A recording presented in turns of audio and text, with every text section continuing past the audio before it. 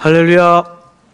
우리 옆에 분에게 힘있게 기운 잔소리로 어, 주님 부활하셨습니다. 인사 좀 하세요.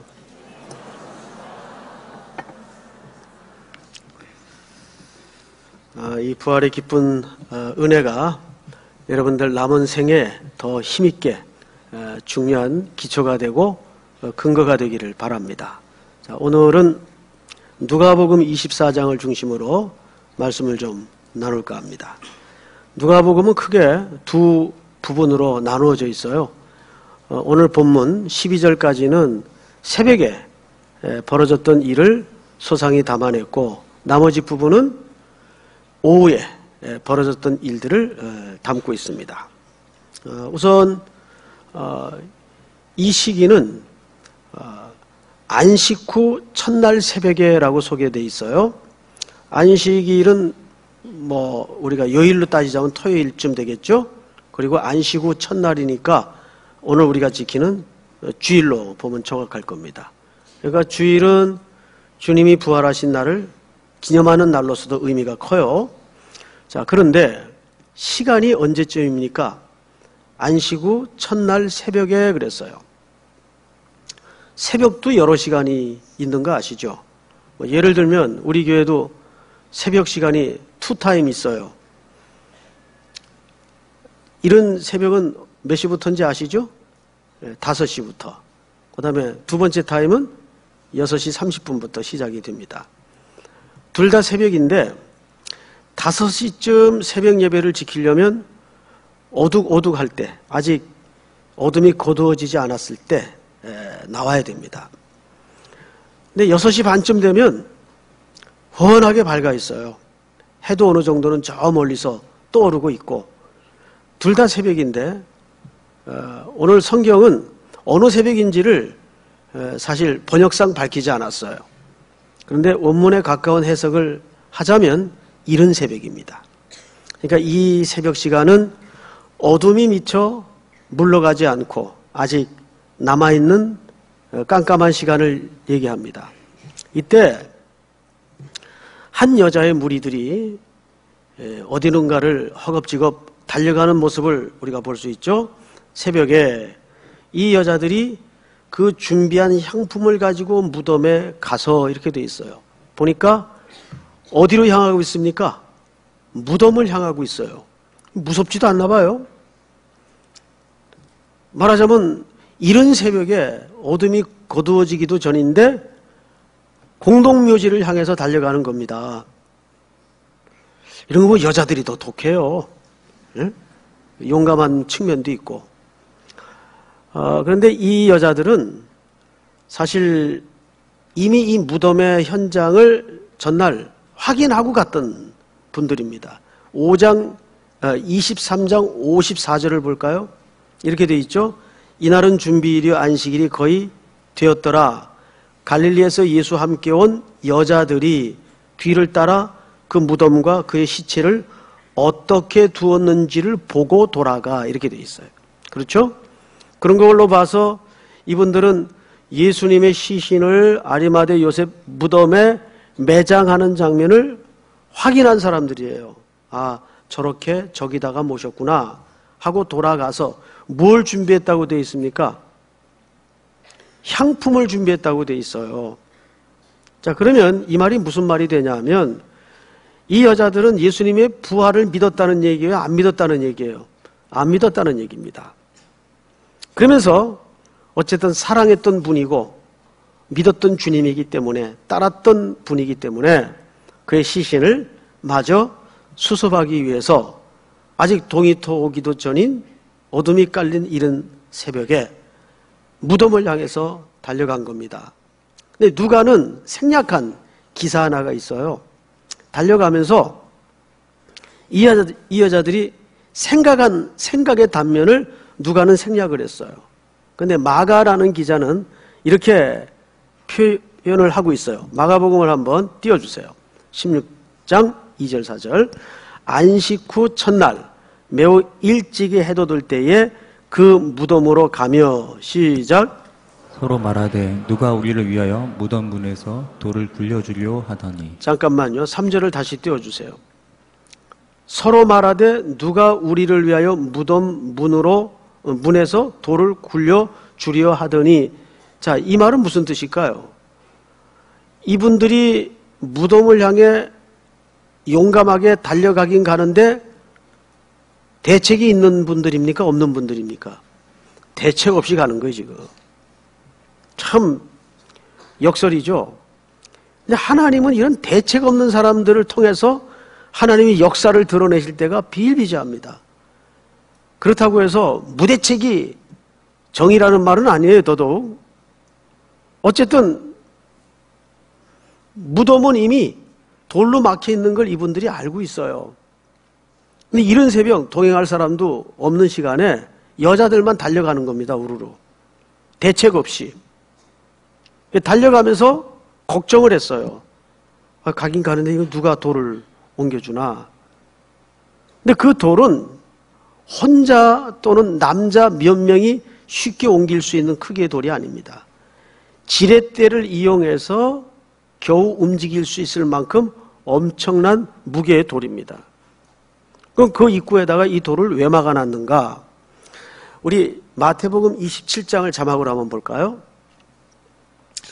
그 이튿날은 준비일 다음 날이라 대제사장들과 바리새인들이 함께 빌라도에게 모여 이르되 시작 주여 저 속이던 자가 살아 있을 때에 말하되 내가 사흘 후에 다시 살아나리라 한 것을 우리가 기억하노니 그러므로 명령하여 그 무덤을 사흘까지 굳게 지키게 하소서 그의 제자들이 와서 시체를 도둑질하여 가고 백성에게 말하되 그가 죽은 자 가운데서 살아났다 하면 후에 속임이 전보다 더 클까 하나이다 하니 시작 빌라도가 이르되 너희에게 경비병이 있으니 가서 힘대로 굳게 지키라 하거늘 66절 같이 읽습니다. 그들이 경비병과 함께 가서 돌을 임봉하고 무덤을 굳게 지키니라.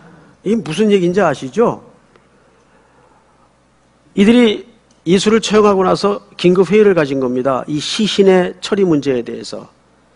자, 매장을 하긴 하는데 혹 있을지 모를 위험이 있다. 제자들이 시치, 시체를 훔쳐다가 유실을 시켜버리고 자기 리더가 살아났다고 하면 이 사람이 살아있을 때 한 말 때문에 더 큰 소요가 일어날 가능성이 있으니까 시신을 누구도 함부로 손대지 못하도록 병력을 동원해서 굳건하게 지켜라.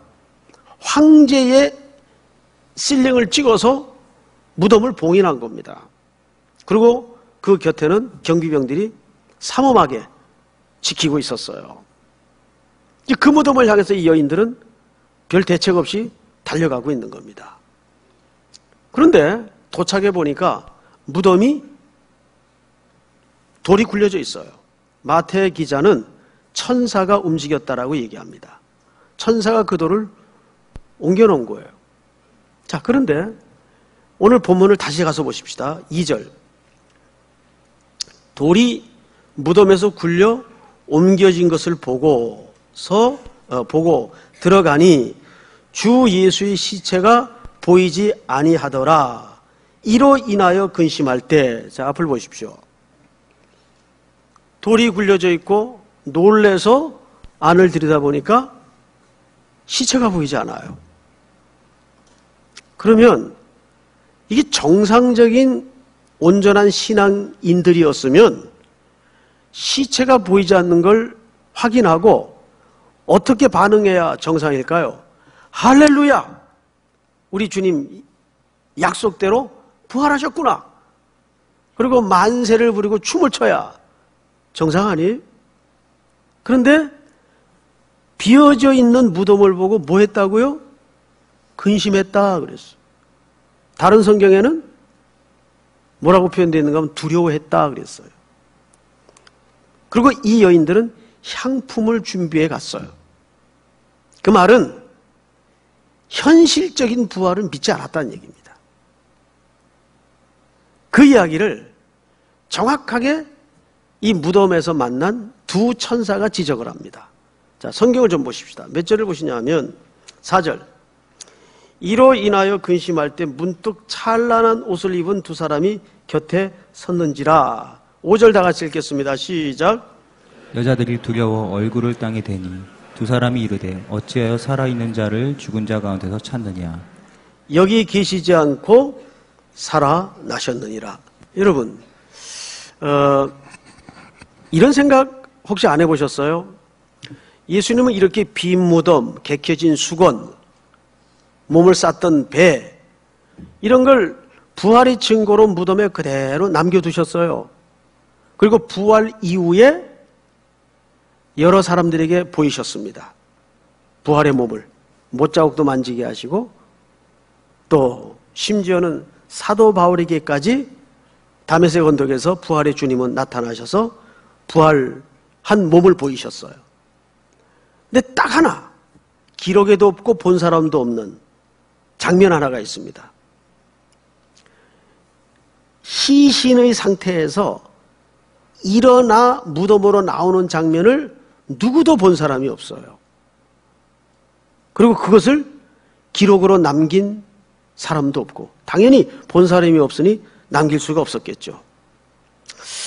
이제 우리가 재밌는 생각을 한번 해보면 성경을 읽다가 이런 생각 가능하지 않겠어요? 아, 이왕이면 새벽에 누가 일어나서 그 장면을 본다고 좀 이렇게 벌건 대낮에, 대낮에 모든 사람들이 복잡거리는 보는 앞에서 이렇게 쫙 일어나면 얼마나 확실한 부활의 증거로 회자되고 남겠어요.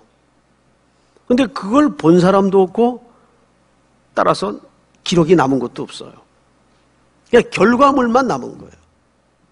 TV 무어라는 유명한 박사가 똑같은 질문을 했어요. 왜 그랬을까? 왜 그랬을까? 왜 그랬을 것 같아요? 우리 재밌는 그림 하나 볼까요? 만약에 낮에 부활하셨다면 제자들이 저 휴대폰 들고 인증샷 찍느라고 난리였을 것 같아요. 이건 누가 재미있게 그린 그림이죠? 예, 빨리 치워주세요. 어, TV 무어는 이런 해석을 내놓습니다. 그 아무도 일어나지 않는 여명이 트기 전에 어두운 새벽에 모두가 뭐 하는 시간이 잠들어 있는 시간이 모두가 잠이 들어 있는 시간이 성경에서 성도들의 죽음을 보통 뭐라고 늘 묘사를 했죠? 잔다라고 묘사를 했어요. 말하자면 우리가 이렇게 저녁이면 자리에 눕는 잠에 드는 것은 죽음을 연습하는 것과 똑같아요. 그리고 아침이면 또 뭘 연습하죠? 부활을 연습해요. 우리 매일 잠들었다가 아침에 눈을 깨요. 죽음과 부활을 일상에서 연습하는 줄 모르죠. 그 시간은 전 세상이 고요히 잠이 들어있는 시간이에요. 그때 그 죽음의 상징인 무덤에서 만유의 주가 되시고 생명의 주가 되시는 예수께서 죽음의 권세를 깨뜨리고 무덤에서 일어나 걸어 나오시는 겁니다. 우리에게 생명을 주시려고. 그래서 디보이 무어 박사는 그런 얘기를 합니다. 여기서 이거야말로 예수님의 부활을 변질시키지 않고 잘 보존될 수 있었던 기록되지 않은 가장 확실한 증거다. 만약에 우리 상상력의 한 단면처럼 몇 사람이 그걸 봤다 합시다. 뭐 그런 기록도 없지만 봤다고 합시다. 그러면 틀림없이 인간의 연약한 속성상, 죄된 속성상 이런 일이 가능하지 않았겠는가? 사람들은 다 주관적으로 기술할 수밖에 없잖아요. 그러니까 이제 제자의 제자들이 후에 그런 기록들을 통해서 많은 교파가 나누어졌을 것 같아요. 스르르 일어났다는 파와 또 벌떡 일어났다는 파와 이게 주장대로 교단이 나누어져서 아마 신나게 또 고집을 피우고 싸웠지 않겠는가 그런 상상을 해봅니다. 자, 이것은 우리가 하나의 지나가는 예고 중요한 것은 여기에서 예수님이 이 무덤가에 달려온 여인들을 통해서 드러내고자 하는 중요한 메시지가 뭐냐면 제목을 하여 붙이면 이렇게 한마디로 정의할 수가 있습니다. 신앙인의 불신앙. 이들은 적어도 이 부활의 문제가 먼 훗날 보장된 티켓 정도의 개념으로밖에는 아직 안 들어와 있어요.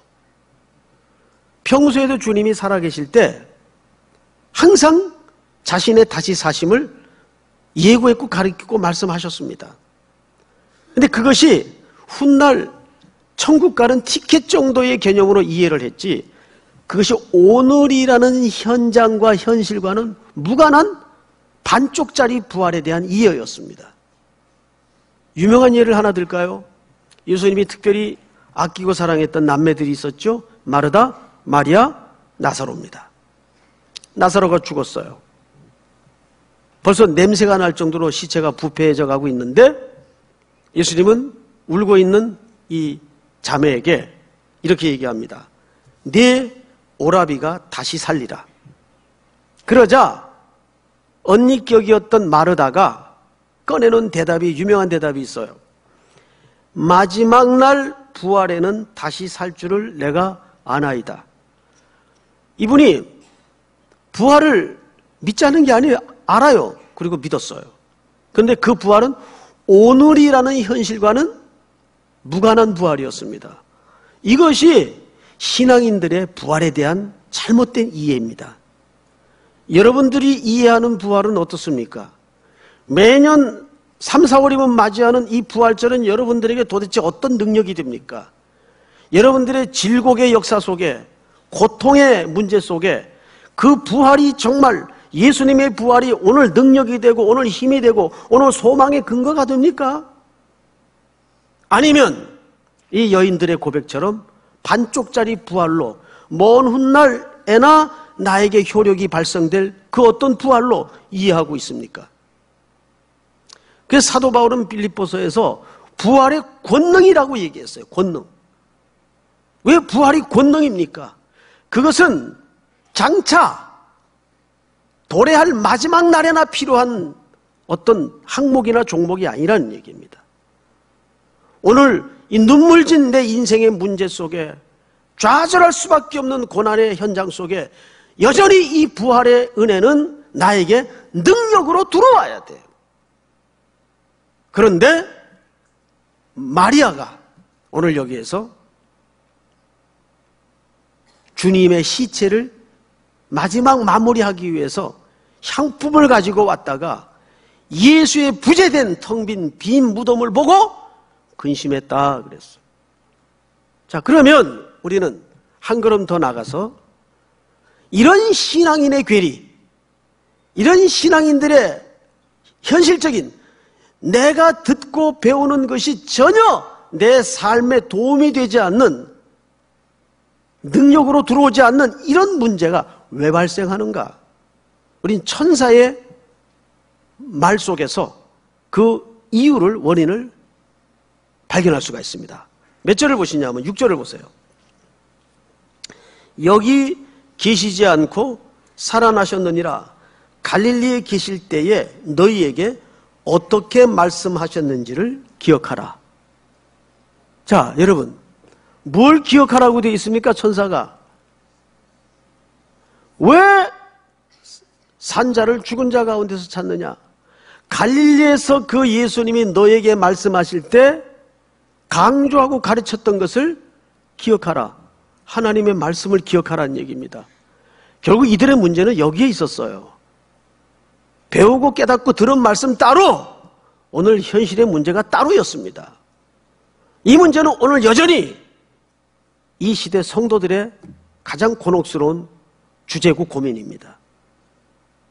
배운 말씀이 삶 속에 능력으로 들어오지 않는다는데 문제가 있는 거죠. 그래서 천사가 근심하여 두려움에 붙잡혀 있는 이 여인들을 향해서 갈릴리에서 그 예수님이 너에게 무엇을 가리켰느냐? 그 말씀을 기억하라. 그 말씀의 내용을 한번 들여다볼까요? 7절. 같이 읽습니다. 시작.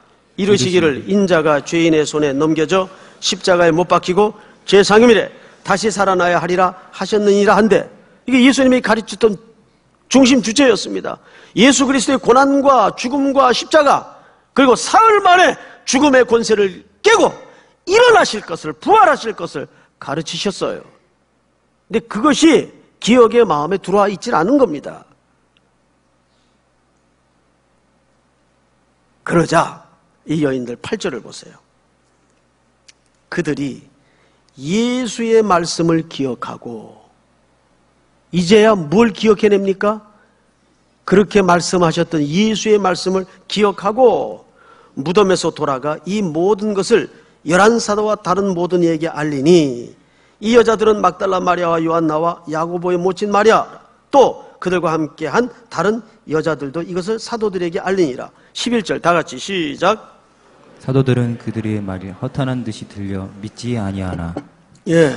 자, 이게 무슨 얘기냐면 사도들도 이 긴박한 놀라운 부활의 소식을 여인들로부터 전해 듣고 믿었어요, 안 믿었어요? 안 믿었어요. 허탄한 말을 하는구나. 이 말은 아유, 너희가 그간 벌어졌던 일이 너무 충격이 커서 정신이 나갔구나. 그 얘기입니다. 너희들이 정신 나갔구나. 사도들도 부활을 안 믿었어요. 그 이 사도들은 도대체 누굽니까? 3년 가까이를 예수님이 먹이고 데리고 다니고 직접 예수님의 입에서 말씀을 풀어 가르치시고 기적을 보이시고 이 모든 걸 동고동 나가면서 겪었던 사람들입니다. 그들도 안 믿었어요. 그러나 예수님의 모든 일생은 자의적인 일생이 아니라 철저하게 어떤 원리대로 살았는가 하면 우리 고린도전서 15장을 띄워 주실까요? 자, 한번 봅시다. 내가 받은 것을 먼저 너에게 전하였노니 이는 성경대로 그리스도께서 우리 죄를 위하여 죽으시고 무엇대로 죽으셨어요? 성경대로. 4절 다 같이 시작. 장사 바 되셨다가 성경대로 사흘 만에 다시 살아나사 아멘. 예수님의 모든 인생은 성경을 이루려고 성경대로 살았던 인생이에요. 결국 우리의 문제도 한국교회 문제도 이 시대의 문제도 하나님 말씀 배우는 것 따로 그것을 믿고 살아내는 것 따로 그 말씀이 우리 삶 속에 현실로 들어와 있질 않는 거예요. 이 부활이라는 기독교 대주제가 먼 훗날 천국 가는 티켓 확보한 정도 개념밖에는 들어와 있질 않는 겁니다.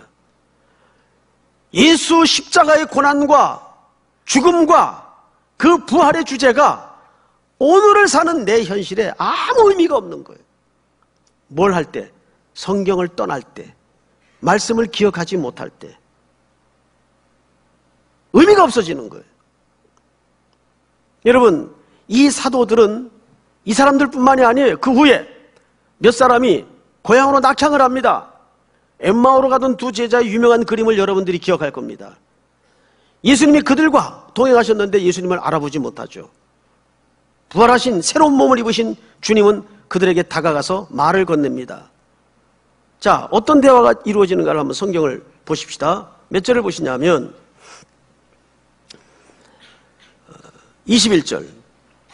우리는 이 사람이 이스라엘 속량할 자라 할 자라고 바랐노라. 이뿐 아니라 이 일이 일어난 지가 사흘째요. 또한 우리 중에 어떤 여자들이 우리로 놀라게 하였으니 이는 그들이 새벽에 무덤에 갔다가 그의 시체는 보지 못하고 와서 그가 살아나셨다는 천사들의 나타남을 보았다 함이라. 또 우리와 함께 한 자 중에 두어 사람이 무덤에 가 과연 여자들이 들을 말을 바와 같음을 보았으나 예수는 보지 못하였느라 하거늘 25절 다 같이 시작 이르시되 미련하고 선지자들이 말한 모든 것을 마음에 더디 믿는 자들이여 그리스도가 이런 고난을 받고 자기의 영광에 들어가야 할 것이 아니냐 하시고 27절 시작 이에 모세와 모든 선지자들의 글로 시작하여 모든 성경에 쓴 바 자기에 관한 것을 자세히 설명하시니라 모세와 선지자의 글을 더디 믿는 너희여 하고 뭘 풀어주셨어요? 역시 성경을 풀어서 해석을 해주십니다. 이때 제자들의 반응을 한번 보십시다. 32절 다 같이 읽겠습니다. 시작. 그들이 서로 말하되 길에서 우리에게 말씀하시고 우리에게 성경을 풀어 주실 때에 우리 속에서 마음이 뜨겁지 아니하더냐 여기 마음이 뜨겁지 아니하냐라는 말은 마음에 불이 타지 않느냐? 뭘 풀어 주실 때 하나님의 말씀이 그들의 이성과 감성과 지성 속에 풀어질 때 그들의 마음은 불 붙는 것 같았고 그제서야 화들짝 놀라 부활의 주님이 십자가의 죽음이 그 고난의 의미가 온전한 그림으로 들어오기 시작한 겁니다. 뭘 풀어줄 때? 하나님의 말씀을 풀어줄 때. 자, 마지막 부분에 44절을 한번 보세요. 또 이르시되 내가 너희와 함께 있을 때 너희에게 말한 바 곧 모세의 율법과 선자의 글과 시편의 나를 가르쳐 기록된 모든 것이 이루어져야 하리라 한 말이 이것이라 하시고 이에 그들의 마음을 열어 성경을 깨닫게 하시고 자 46절 같이 읽습니다. 시작 또 이르시되 이같이 그리스도가 고난을 받고 제3일에 죽은 자 가운데서 살아날 것과 또 그의 이름으로 죄사함을 받게 하는 회개가 예루살렘에서 시작하여 모든 족속에게 전파될 것이 기록되었으니 같이 읽습니다. 너희는 이 모든 일의 증인이라. 할렐루야.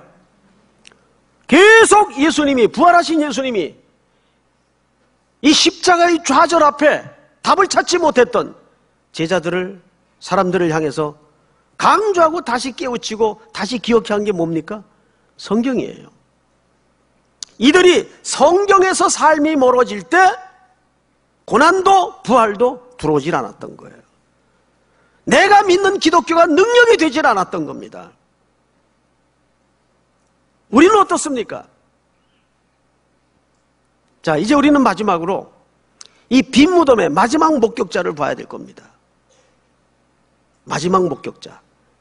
간접적으로 건네들은 여인들로부터 전해들은 이 텅 빈 무덤의 소식을 사도들은 믿지 않았어요. 확인하기 위해서 두어 사람이 뛰어갑니다. 오늘 누가는 두 사람을 밝히지 않지만 다른 복음서에는 두 사람이 뛰었어요.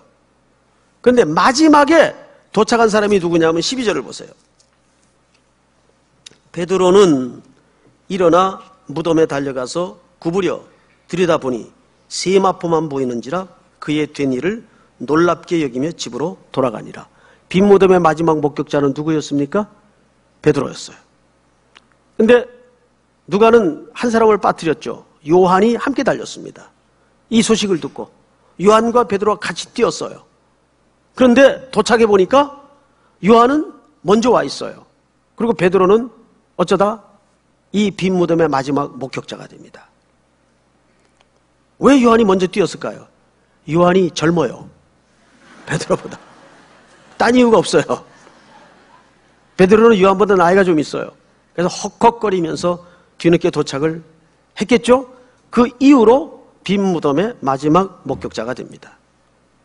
근데 참 놀라운 것은 베드로가 여기서 뒤집어집니다. 주님의 부활을 보고서야 베드로는 바뀌어요. 십자가 자리까지도 베드로는 믿지 않았어요. 근데 부활하신 주님을 만나고서야 그 인생이 제대로 뒤집어지게 됩니다. 그리고 그는 이방 선교의 문을 열죠. 보통 이방 선교의 문을 사도 바울이 열었다고 이해하는 분들이 있어요. 사도 바울이 역할을 한 건 맞는데 그가 이방 선교의 문을 연 사람은 아니에요. 이방 백부장 고넬료의 집에 누가 갔습니까? 베드로가 갔어요. 처음에 안 가려고 그랬죠. 그런데 주의 사자가 아, 내가 깨끗하다 한 것, 깨끗하다 한 것을 네가 왜 더럽다고 하느냐? 가서 먹으라. 그 말은 가서 이방인을 향하여 복음을 전하라 그 말이에요.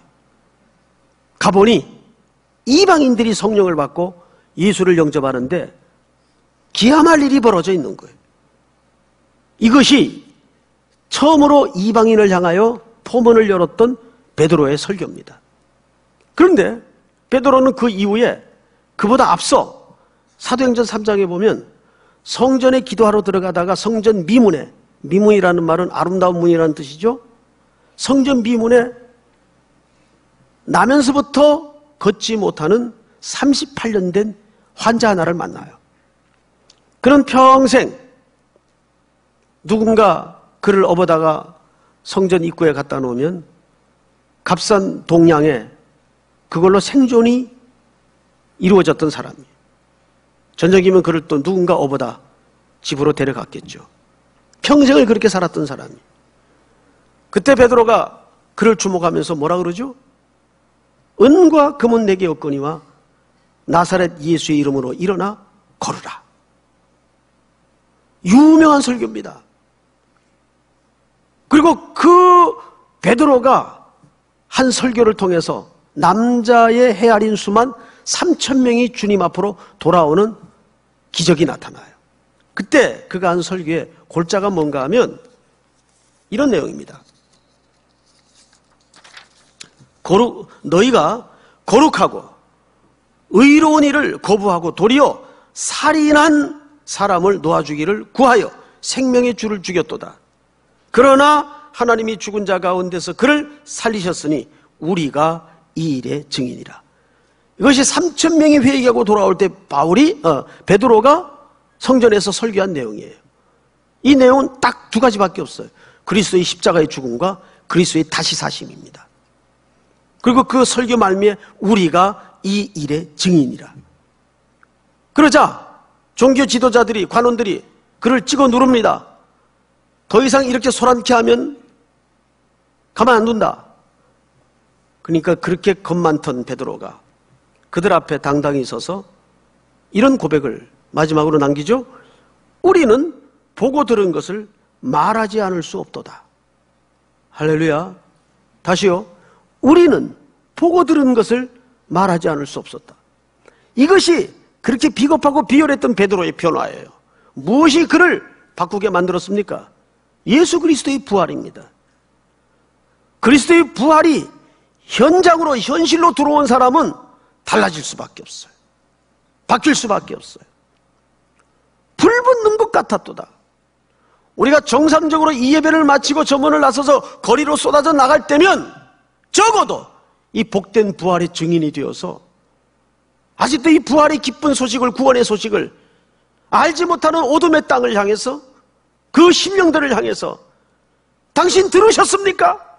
예수님이 부활하셨습니다. 이 예수님이 누군지 아십니까? 우리를 위해 십자가에 죽으신 분이십니다. 우리가 그분 때문에 죄의 사함을 얻었고 자유가 우리에게 임하게 되었습니다. 여러분, 이분 아십니까? 이분이 부활하신 날입니다. 예수의 부활을 전하지 않을 수 없는 전령자가 돼야 돼. 그렇게 덤덤한 표정으로 앉아 계시면 안 돼요.